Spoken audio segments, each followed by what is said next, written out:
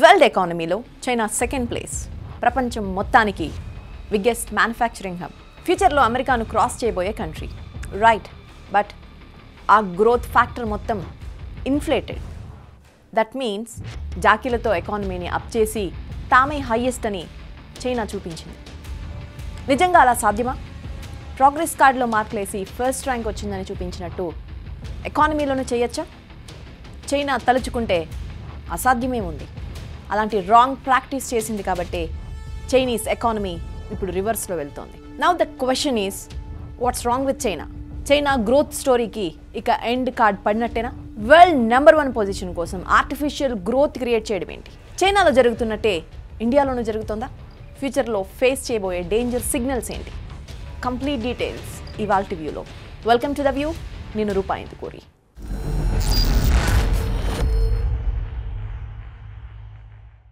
మన ఇంట్లో పిల్లలు ఆడుకునే బొమ్మ చైనాలో తయారైంది.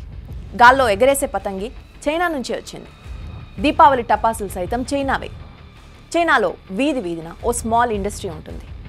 ప్రపంచానికి ఆట వస్తువుల నుంచి ఐఫోన్స్ వరకు సప్లై చేస్తుంది చైనా. ఇదంతా మనం ఇప్పటివరకు గ్రేట్గా చెప్పుకున్నాం. సరే మీకు కోటి రూపాయలు ఇచ్చి ఇండస్ట్రీ పెట్టమన్నా నష్టాలు వస్తున్నా సరే లోన్ ఇప్పించి మరీ ఎంకరేజ్ చేశాం. సో ప్రొడక్షన్ జరుగుతోంది. ఎంప్లాయ్మెంట్ క్రియేట్ అయిపోయింది.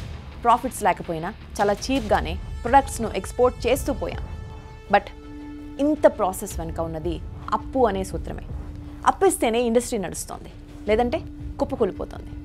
అలాంటి సమయంలో ఇచ్చిన లోన్ అంతా వెనక్కి చేయమంటే ఎలా ఉంటుంది? సడన్గా అంతా క్రాష్ అయిపోతుంది. చైనాలో ఎగ్జాక్ట్గా ఇప్పుడు ఇదే జరుగుతోంది. డ్రాగన్ కంట్రీలో ఇండస్ట్రీ ప్రొడక్షన్ వెల్త్ క్రియేషన్ అని చెప్పుకుంటున్న స్టోరీ అంతా నిజమే. బట్ ఒక గాలి బుడగ లాంటిది. ఇప్పుడు బర్స్ట్ అవుతోంది ఆ గాలి బుడగే. ఎట్ ప్రెసెంట్ చైనా మూడు క్రైసిస్ను ఫేస్ చేస్తోంది. The first one real estate crisis the second is banking crisis and the third one credit crisis ఇప్పటికే ఐదు చైనా బ్యాంకులు దివాలా తీశాయి.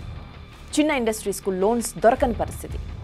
కరోనా తర్వాత second lowest పర్ఫార్మెన్స్తో two point nine nine percent గ్రోత్కు పడిపోయిన చైనా జీడిపి ఇది ప్రజెంట్ చైనా సిచ్యువేషన్ కొన్నాళ్ళుగా చెప్పాలంటే కొన్నేళ్ళుగా చైనా ఎకనామిక్ గ్రోత్ స్టోరీని గ్రేట్గా చెప్పుకుంటూ వచ్చాం. చైనాను చూసి నేర్చుకోండి ఎన్నో లెక్చర్లు ఇచ్చిన వాళ్ళు ఉన్నాం. ఆల్ ఆఫ్ ఎ సడన్ అదంతా పై పై మెరుపులేనని ఇప్పుడిప్పుడే క్లారిటీ వస్తోంది. నిజానికి చైనాను చూసి ఇండియా నేర్చుకోవాలి కూడా. చైనా ప్రెసిడెంట్ జిన్పింగ్ ఎలాంటి తప్పులు చేశారు చూసి వాటి నుంచి పాఠాలు నేర్చుకోవాలి. ఇంతకీ జిన్పింగ్ చేసిన మిస్టేక్ ఏంటి? దీనికంటే ముందు అంటే బిఫోర్ టూ థౌజండ్ ఎయిట్ చైనాలో ఏం జరిగిందన్న దానిపై ఒక చిన్న స్టోరీ విందాం. పేద దేశం అనే స్టాంప్ ఉన్న చైనా ఫ్యూ ఇయర్స్లోనే వరల్డ్ సెకండ్ ఫాస్టెస్ట్ ఎకానమీగా ఎదిగింది ఫారిన్ డైరెక్ట్ ఇన్వెస్ట్మెంట్స్లో ఒక్క డాలర్ కూడా లేని చైనాకు నైన్టీన్ సెవెంటీ నుంచి టూ థౌజండ్ ఎయిట్ వరకు వన్ టెన్ బిలియన్ డాలర్స్ వచ్చాయి. సో ఎకానమీలో గ్రోత్ మొదలైంది. ఎనభై కోట్ల మంది పేదరికం నుంచి బయటపడ్డారు ఒక్కసారిగా. పిక్చర్ మొత్తం బాగుందనుకునే సమయంలో అంటే టూ థౌజండ్ ఎయిట్లో వరల్డ్స్ బిగ్గెస్ట్ రెసిషన్ వచ్చింది. ప్రపంచం మొత్తం మూడు పూటలు తినలేని పరిస్థితుల్లో ఉన్నప్పుడు ఆట బొమ్మలు చైనా వస్తువుల గురించి బేసిక్గానే ఆలోచించదు. బట్ చైనా బతుకుతున్నదే ఎక్స్పోర్ట్స్ వల్ల. టూ థౌజండ్ ఎయిట్లో అమెరికా నుంచి యూరప్ వరకు ప్రతి ఒక్క దేశం చైనా ఇంపోర్ట్స్ను తగ్గించేశాయి. చైనాలో ఫారిన్ డైరెక్ట్ ఇన్వెస్ట్మెంట్స్ కూడా భారీగా తగ్గాయి. టూ థౌజండ్ ఎయిట్లో one zero eight billion dollars వస్తే రెసిషన్ వచ్చిన నెక్స్ట్ ఇయర్ అంటే టూ థౌజండ్ నైన్లో నైంటీ ఫోర్ బిలియన్ డాలర్స్ మాత్రమే వచ్చాయి. సో చైనాలో మ్యానుఫ్యాక్చరింగ్ యూనిట్స్ అన్నీ ఆగిపోయాయి. ఏ ఒక్క ప్రొడక్ట్ కూడా అమ్ముడుపోని పరిస్థితి. ఈ సిచ్యువేషన్ చూసిన చైనా గవర్నమెంట్ ఇకపై ఫారిన్ ఇన్వెస్ట్మెంట్స్పై ఆధారపడకూడదని డిసైడ్ అయింది. అప్పుడు అప్లై చేసిన ఫార్ములాని ఆర్టిఫిషియల్లీ ఇన్ఫ్లేటెడ్ ఎకానమీ అవసరం లేకపోయినా డబ్బులు కుమ్మరించి మరీ మ్యానుఫ్యాక్చరింగ్ సెక్టార్ను నిలబెట్టడం. సంహావ్ ఈ ఐడియా కొంతవరకు బాగానే ఉంటుంది. బట్ బూమరాంగ్ అయితే మాత్రం సీన్ మొత్తం రివర్స్ అయిపోతుంది. ఓకే ఇంతకీ చైనా అప్పుడు ఏం చేసింది? ప్రతి ఒక్క కంపెనీ చేతిలో డబ్బులు పెట్టాలనే ఉద్దేశంతో యువాన్ కరెన్సీని ప్రింట్ చేసింది. ఏం చేసైనా సరే జీడిపిని పెంచాలనేది జిన్పింగ్ తాపత్రయం. ఎవరు సలహా ఇచ్చారో సొంత డెసిషను కానీ దాదాపు ఫోర్ ట్రిలియన్ యువాన్స్ను మార్కెట్లోకి రిలీజ్ చేయించారు జిన్పింగ్. అడిగిన వారికి కాదనకుండా అప్పులు ఇవ్వాలంటూ ఆర్డర్స్ పెట్టారు. But at the same time China banking సిస్టంలో కొన్ని రెస్ట్రిక్షన్స్ ఉన్నాయి. క్రెడిట్ స్కోర్ ఎంత బాగున్నా లిమిట్ దాటి అప్పులు ఇవ్వడానికి వీల్లేదు. బట్ జిన్పింగ్ పెట్టిన టార్గెట్ రీచ్ అవ్వాలంటే అప్పులు ఇవ్వాల్సిందే. ఈ ఫోర్స్ కారణంగానే బ్యాంకులే షాడో బ్యాంక్స్ క్రియేట్ చేశాయి. షాడో బ్యాంక్స్ అంటే ప్రైవేట్ ఫినాన్స్ కంపెనీలతో సమానం. ఇవి అడిగిన వారికి కాదనకుండా అప్పులు ఇవ్వడం స్టార్ట్ చేశాయి.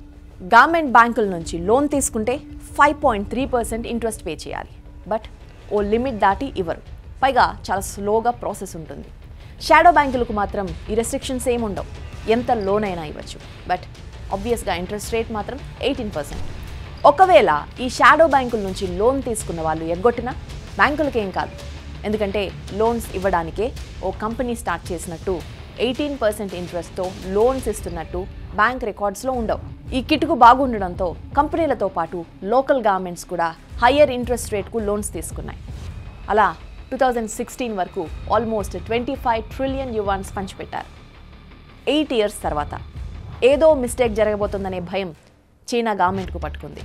బట్ అప్పటికే shadow banks out of control ప్రభుత్వం కూడా కంట్రోల్ చేయలేనంత సిచ్యువేషన్ అయిపోయింది. సో అప్పుడే చైనా గవర్నమెంట్ ఓ డెసిషన్ తీసుకుంది.